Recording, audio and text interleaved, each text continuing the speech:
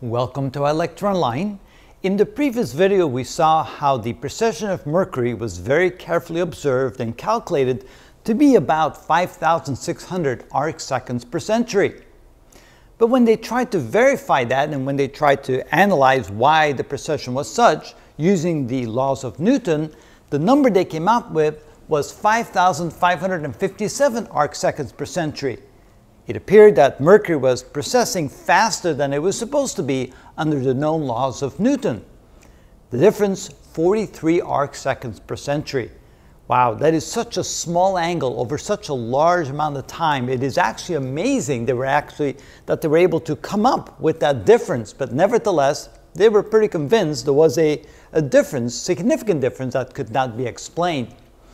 Now, the reason why now there's a difference there is because the general, the general theory of re relativity and the special theory of relativity indicates that time will run slower, first of all, because Mercury is closer to the strong gravitational force of the Sun, which tends to slow down time, and also Mercury uh, orbits around the Sun much faster than any other planet, which again would have an would have an effect due to the special theory of relativity, again making time move slower in both cases. And that time discrepancy is a large factor in describing why there's a difference of 43 arc seconds per century. But how did they actually measure that 43 arc seconds? Well, it turns out all the way back in 1859, Urbain Le Verrier analyzed Mercury's transitions across the sun's disk for all the transitions starting in 1697 all the way through 1848. So that's about close to 20 transitions that he looked at very carefully and based upon how the transition slowly changed over time, he was able to estimate that there was a discrepancy between the observed precession of Mercury and the calculated precession of Mercury of about 38 arc seconds per century.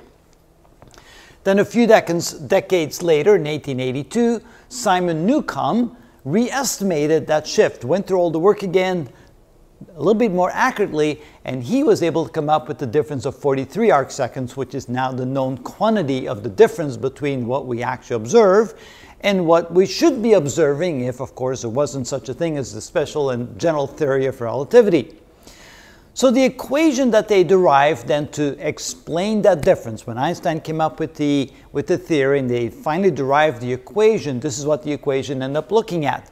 The difference in the shift, and the units are going to be in radians per revolution. So for every revolution, for every orbit of Mercury around the Sun, there's going to be a slight shift in terms of radians, and this is the equation that allowed them to calculate that number. So when we went, when they went through that, here we have what we call the semi-major axis. We use the letter A. Here's the period, the time it takes for Mercury to go around the Sun once, the speed of light, and the eccentricity of the orbit.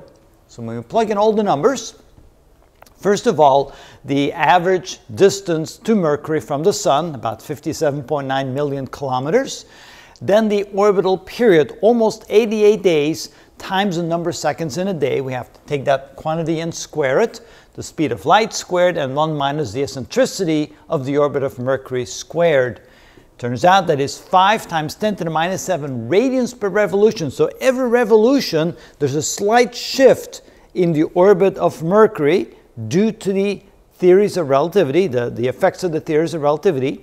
It's a very small shift in radians. In degrees per revolution, it's about 2.87 times 10 to the minus 5. And then in arc seconds per revolution, it's about one tenth of an arc second for every orbit of Mercury around the Sun. Now, how does that add up to almost 43 arc seconds per century?